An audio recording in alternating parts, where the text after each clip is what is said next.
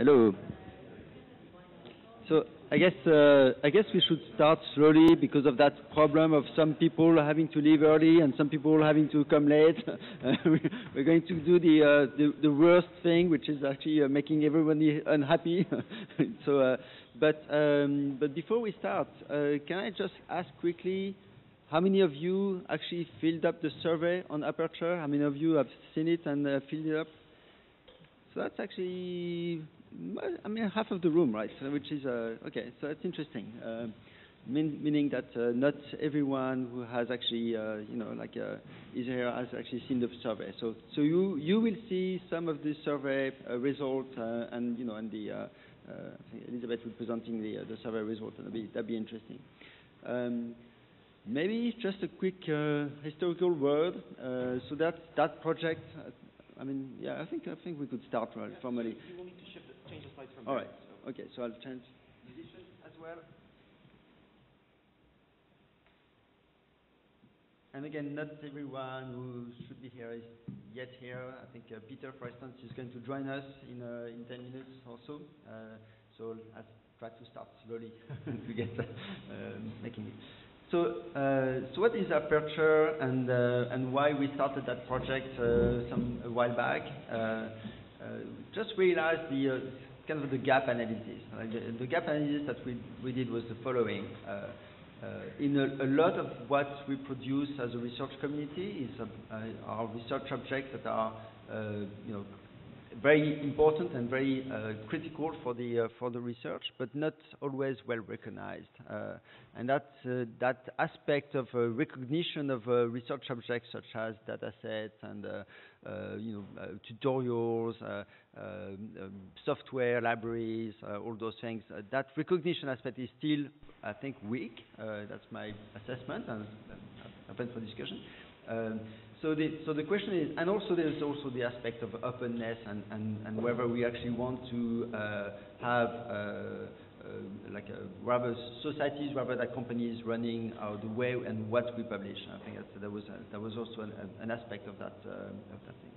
So um, so basically, what the key, the really key uh, critical thing for Aperture is the are the following five five mottos somehow like. Um, so first of all, publish more than PDF when you can publish more than PDF. And, uh, and that comes from the realization that the, if I take an article and um, I look at what's been done, uh, if, if I have to start again from just the PDF, and like if I haven't got some of, some of those first tools and first things done, it's going to take like ages. Uh, and it's really, it's going to be really, really hard. So the PDF is probably the most unreusable thing. I mean, it, still has the ideas, which is our, you know, like a, probably like a, the primary thing. So I'm not, uh, you know, it's not, uh, but it's really, uh, it's really almost like an artifact of the um, of the publishing of the 19th century, right? It's, uh, you know, you, you just uh, you just have the paper, or like, uh, and if you have the paper on the web, you know, you just don't do anything with it. I mean, we now can scrap the, the text, you know, it's it's not it's not very reusable. Uh, so that's uh, that's one aspect. Doesn't mean that uh, Aperture should not be publishing PDF. Of course it should. I think that's, but it's not only PDF and whatever you can actually enrich the the research object. You should be re enriching the research object. so the second thing which was I was alluded uh, was alluding uh, to is the, the high quality aspect. There are many platforms where you can actually post or disseminate research objects. Um, data sets or like uh, you can put your your like uh, your data set on Zenodo, right? I mean, uh, but but there's not that many platforms that actually review things. Uh, so and, and actually put, put a label of high quality on on, the, on those objects. And I think that's still you know very needed for like, as you know in terms of the uh, open and, and, and society based like uh, platform. I think that's still something that is missing in in many instances openness. Um, and that's uh, and what is open and what is not open is not. Uh, I, don't think that's always like a, a completely um, uh, one or zero thing. Uh, clearly, um, openness in terms of, uh, of of being accessible, being accessible, and the PDF being accessible. That's I think that's a clear thing. I mean, and, and many journals actually moving in that direction. Uh, I think almost every journal is moving are moving in that direction. the I don't know what's happening with Plan S, but I think there's, so much pressure uh, for the uh, uh for like uh, making those uh, those PDF uh, those published artifacts open for everyone. That it's, it's really moving fast in that direction. That's my, my sense. But the openness can go like much much further than that. And the, for instance, uh, you know what um, the, uh, in the review process, can we can we then open the, the reviews themselves or not? Uh, is that is that something that is desirable or not? and and basically having a way for the society to actually give, the feedback and give some some uh, uh, what what is preferable, what is the society actually wanting, what what is the community wanting uh, on on those things. I think that's that's an important uh, and that and clearly this will be a debate and like uh, and discussions because that's there are many various opinions and uh, sometimes strong opinions on those questions. So it's interesting. governance. I think that's that's something really, dear to my heart. Like it, it's um, you know the the aspect of uh, of uh, a, a publishing platform that is uh, uh, not run to actually make some profit, but it's actually run to make sure that the society and the community is publishing uh, the best artifacts and the, uh, the, the, the, best what, what is needed for the research to go fast and, and well. Uh, is something that is uh, is important. So I think uh, the one of the core ideas is that OHBM will be the the parent organization that will run that that that platform in terms of the governance, in terms of the financial aspects, and so on, and the um, and and making sure that you know the I mean the, the, society is not trying to actually make uh, money, uh, like a huge profit out of those things. I think is is one of the, uh, the, the, the, elements as well that is core to the um, uh, and that's uh, and that's the non-profit aspect uh, that you know like if, if the fees can actually cover the the running of the operation, I think that's you know that's you know there's no there's no profit, there's no like obviously it has to yeah it will it will have to be some money to go in because you know that you can't run those things without any uh, uh, cash, but um, but that's uh, that's not a, a money making machine for the society. That's that's what the the, the, key aspect is. Think those are the five keywords like or, you know things, but uh, I'm sure that there may be some other ideas and other things that you know people uh, will want to add. So I think uh, that's will be for the. Before I, before I go, I should I should say we will have like a bit more of a presentations uh, aspect, uh, you know, in the first. Uh, in the first uh, uh, part of the uh, of the meeting, and then and then there will be a discussion. But we rather postpone the discussion until everyone has presented and, and give feedback on where the project is and so on. that's um, so the uh, initiative comes from Topic. So Topic, uh, I think Martin, you started uh, that a long time ago, and or not that long time ago, a few years ago, um, uh, and uh, and supported uh, at the moment by by OHBM. It doesn't cost much at the moment because there's no there's no huge cost associated. Um, so it's not it's not a costly operation for the society. Uh, but it is actually in the uh, strategic investment plan of the of the society. So that's something that the society has thought, okay, uh, having a place where uh, the community can actually publish those, uh, the, I mean, research objects that are rich research objects, and in a, in a way that is handled by the uh, by the society is is something which is important for us, and that's so that that is actually there are four lines in the four items in the strategic plan. I'm sure Joan could actually recite those. I can't, but I know that the fourth one is the is uh, the um, is the uh, is the is Aperture, is the the publishing platform. Tom, I'm sorry, we there was some confusion on the on the timing, and uh, therefore some people are starting going to start to trickle in at uh, around 12:30. Uh, that's yeah, that's.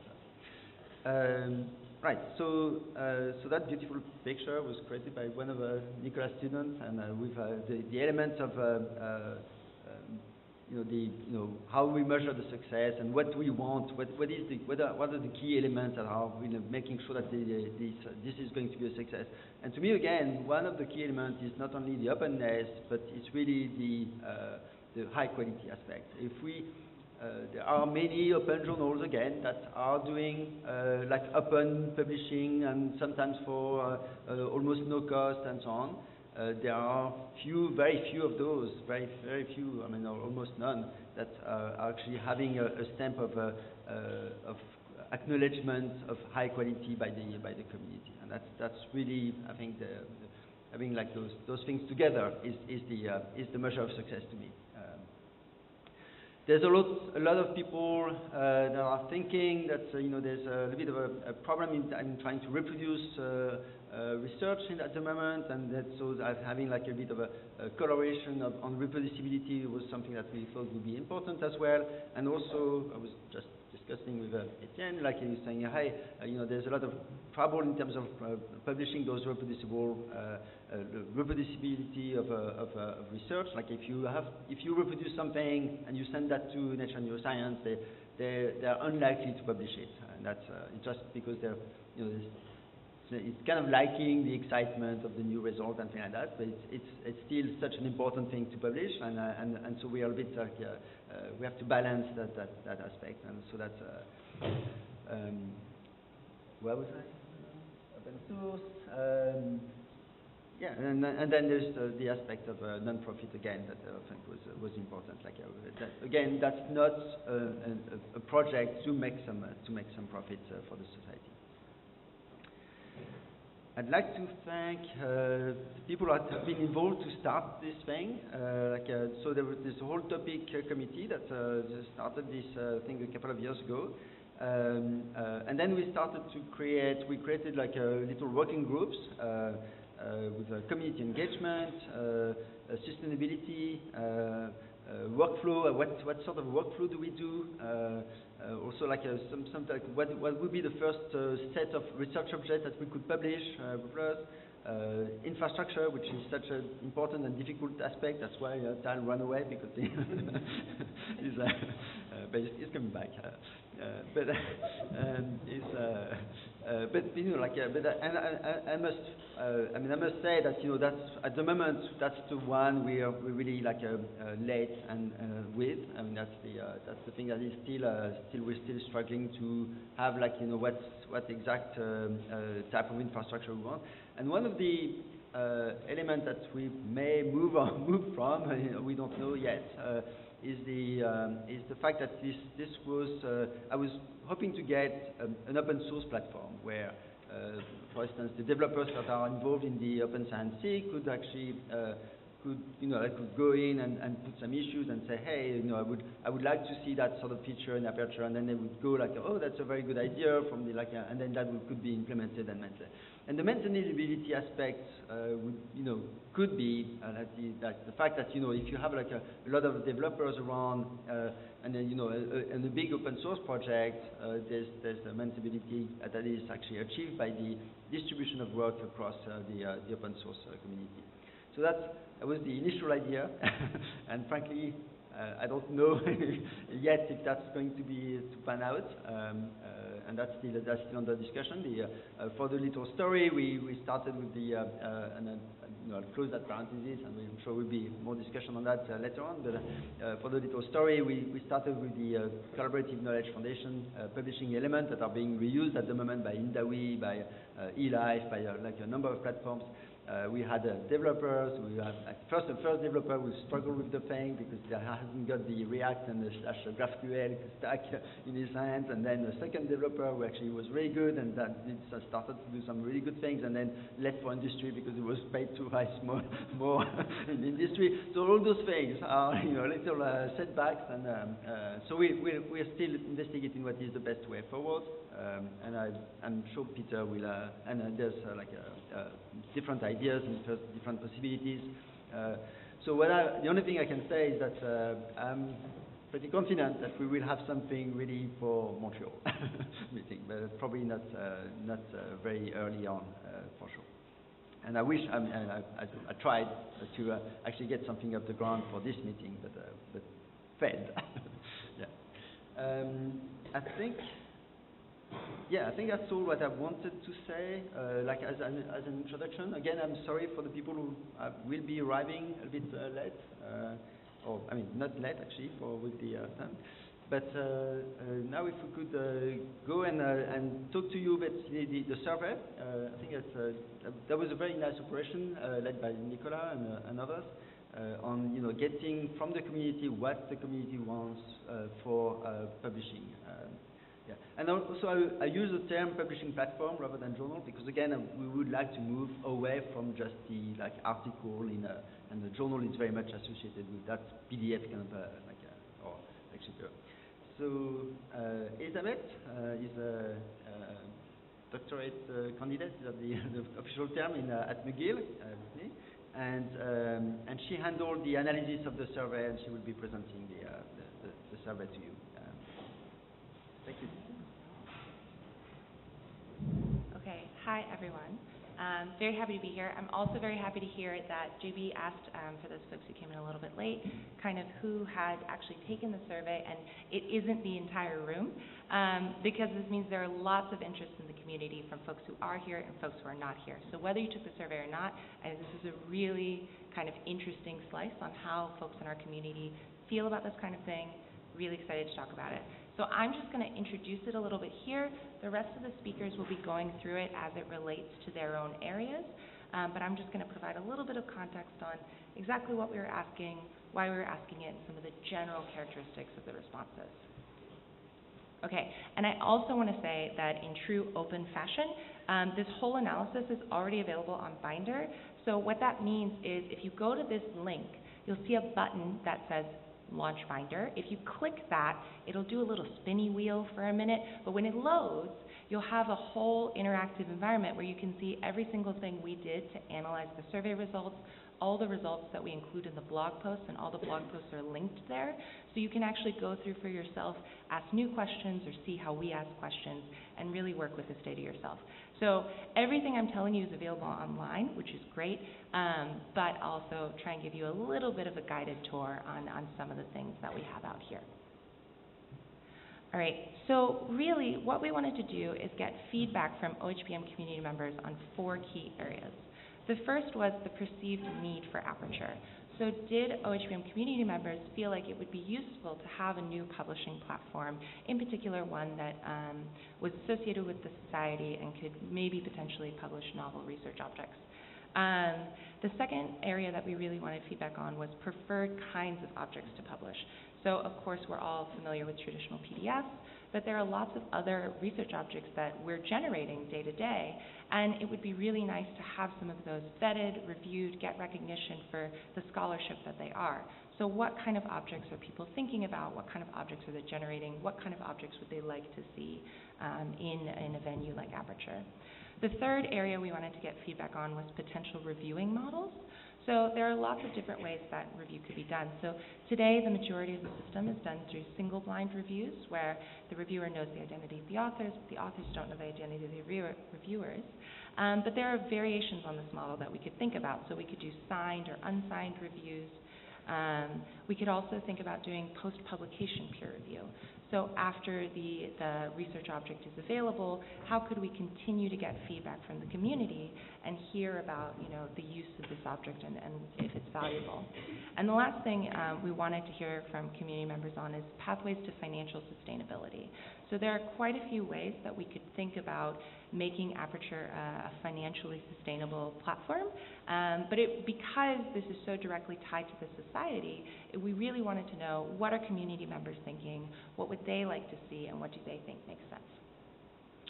So um, again, I'm not going to go through the whole survey. I really just want to provide you with some very high-level information about how we got our responses.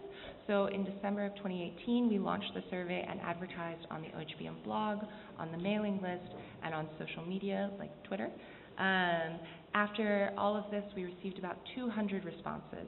So it's actually 192 members, which you'll notice is, is kind of a small slice of the community, but of those responses, 43% were early career researchers. So this is graduate students, postdocs. I think we had 1% undergraduate researchers actually, which was great. Um, and so this really seems to be, even though it's a small slice, it's a pretty representative slice. And of this slice, um, 87% think that we should have our own publishing platform. So this seems like a really good place for Aperture to step in and to have this close relationship with the society and to host these kinds of research objects. And I just want to say really quickly that, again, because this is a small survey um, in terms of sample size, we really want to thank all those members who did take part. We really appreciated hearing from you about what you value and what you would like to see moving forward.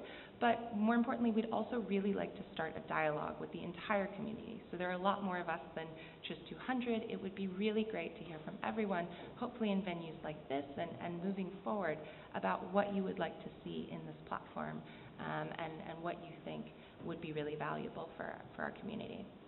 Um, so with that, I'm going to hand it over to Nikola, but I just want to remind you again of this link so that you can go and explore the results yourself and check it all out. Thanks.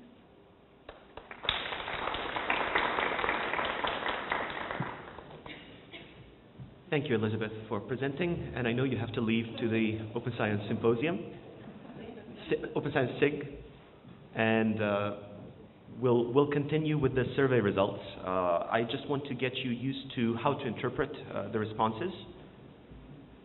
Thank you for coming. Sorry we had to start late. Um, so these these are uh, the results uh, organized by color, hopefully making it a little bit easier to read. So uh, I'll spend some time explaining what this means. Uh, first, starting with the question: What factors contribute to your decision where to publish? Um, red and blue are strongly agree and agree. Uh, violet and orange are disagree and strongly disagree, and then green is kind of neutral, neither agree nor disagree. So I think the easiest way to read this would be to take a look at the location of the green bar to see, you know, how far to the right it is, and then also uh, the size of the green bar. If it's very large, that means quite a few people didn't really have a strong preference, strong opinion on the topic. And then when we take a look at what is really important, there's a couple that stand out, which is scientific theme and journal reputation, right here. But then a lot of the others are about the review standards, high review standards, um, review times, uh, review transparency. So seems like that's very important, and that's why uh, Peter, who's on his way, will spend some time about our review workflows. And then not to be ignored, people do care about the impact factor, whether we like it or not. And uh, you know, it shows here. It's also among the most popular uh, factors, and uh, I don't think we can escape it. But uh, we have yet to discuss how exactly we'll incorporate impact factor into what Aperture hopes to accomplish. But it goes with this high quality theme that uh, JB introduced. So this is the count of people. We had 193, I believe, but not all of them responded to every question. So you will see that at least 175 people responded to all of these. So I hope that makes sense, both in terms of setup of what the community uh, cares to decide to publish in Aperture, but also how to read these results. And then I'll also explain the next uh, uh, question that uh, was featured in the survey. Uh, what content would you like to see in Aperture? And uh, here you will see lots of options, tutorials, simulations, communications, review articles, original empirical articles, which are kind of the standard PDF, but also uh, methods, meeting summaries, data sets, data descriptors, computational notebooks, and so on. And it's kind of tough to make a call here what is the most important. Uh, I think it makes sense that original empirical articles are still preferred by the community, and we're not giving up on those. I think that should be uh, possible to host uh, on Aperture. But then we noticed that, for example, tutorials have quite a lot of interest. And this is not a conventional research object. And the community said that they would like to see more of those.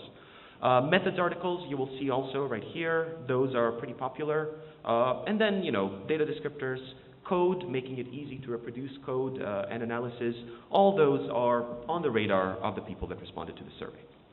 So my role here is really to try to propose a couple of different research objects that are already happening and just to get people thinking about what could possibly be published by Aperture. By no means an exclusive list, but uh, some things that already exist that are looking for a home. Uh, how many of you are aware of these tutorials that the OHBM blog has been publishing, the how-tos? Okay, quite a few. That's great. Uh, these take a lot of work, and what they do is they leverage our on-demand platform. So uh, these are the people that have been contributing, quite a few in the room, uh, and especially big thanks to Jeanette and Nils, who really got it off the ground as part of the communications committee. Um, and they take videos that are on the on-demand platform, and they write these wrapper review articles around them. They're not short. They're in the order of about, what, 3,000, 4,000 words, about? And uh, they will annotate the videos and say, as so-and-so said in this video, resting state functional connectivity is, uh, you know, uh, uh, important because of these issues.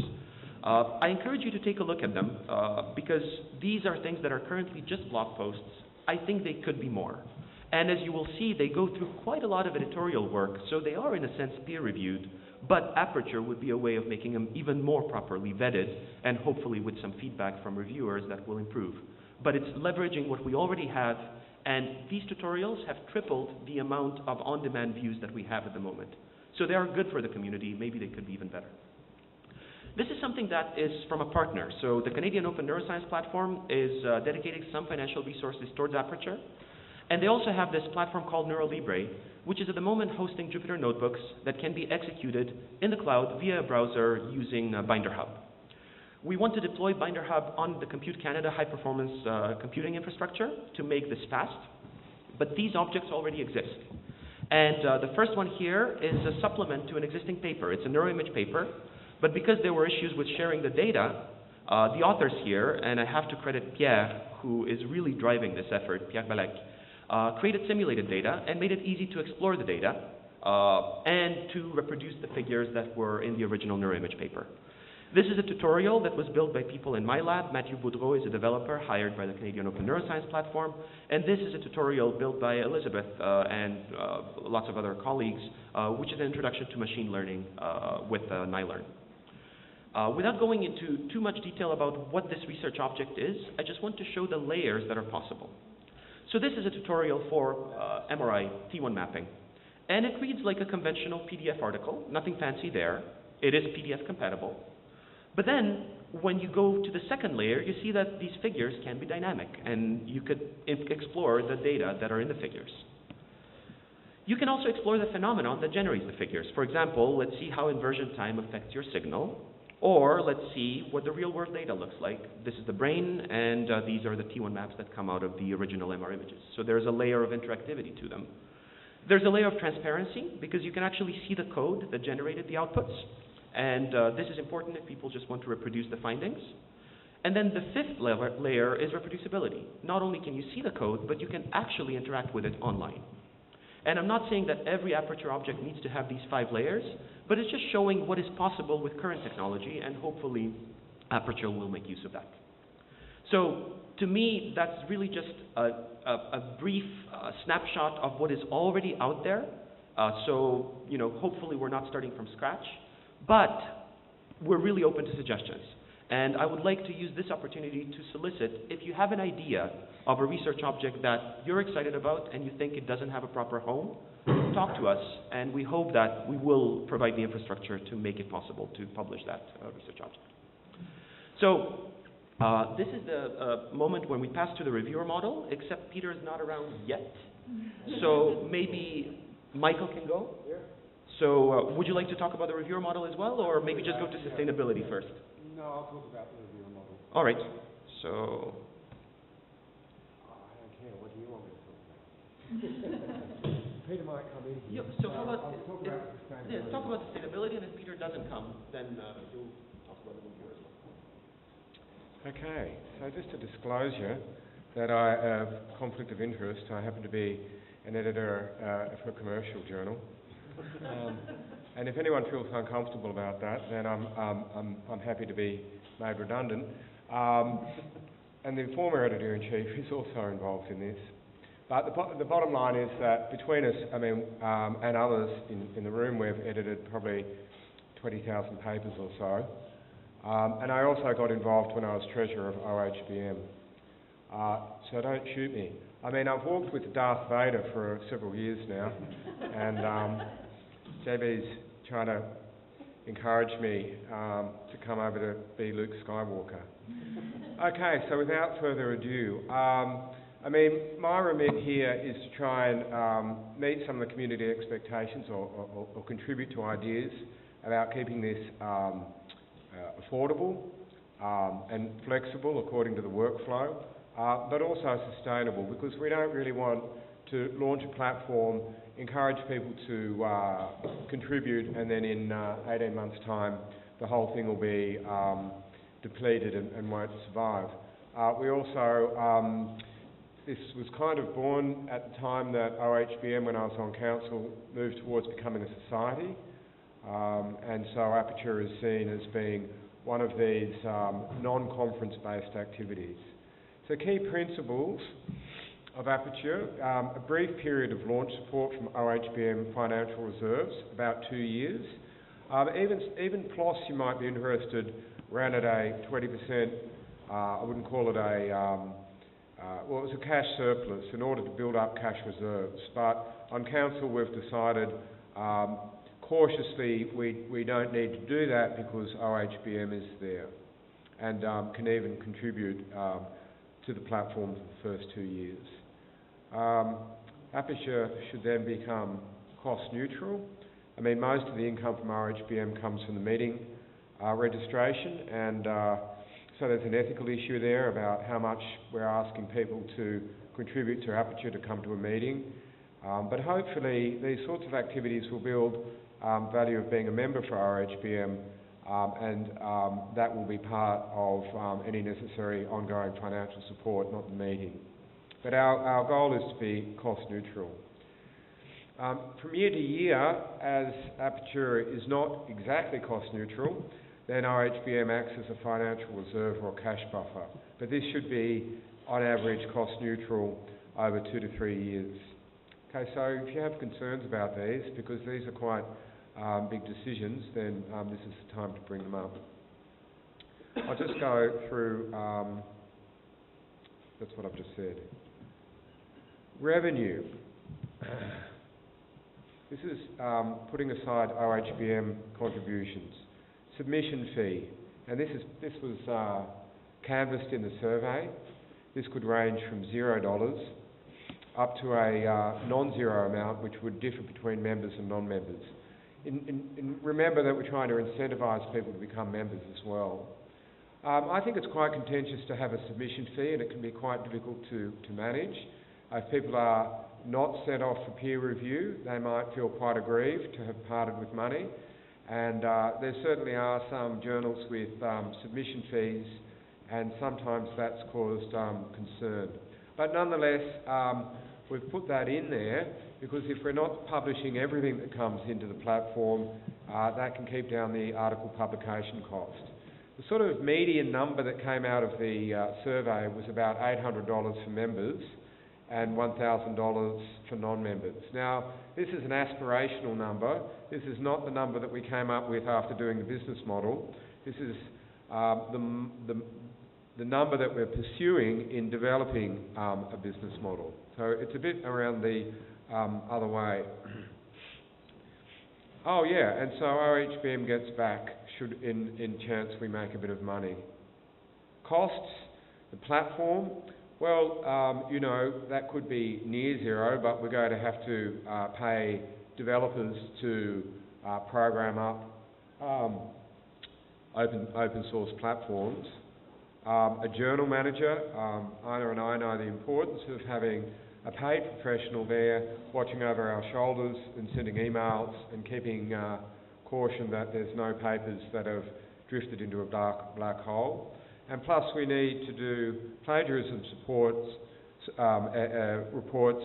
We need to make sure what we do at the end of the day is PubMed Central compliant. And um, we've had discussions about whether we do or don't pay for some copy editing for those more traditional PDF-like um, products. Marketing. Um, yeah, I doubt, I doubt we're going to market it, um, but we've put it in there as a, as a, as a line.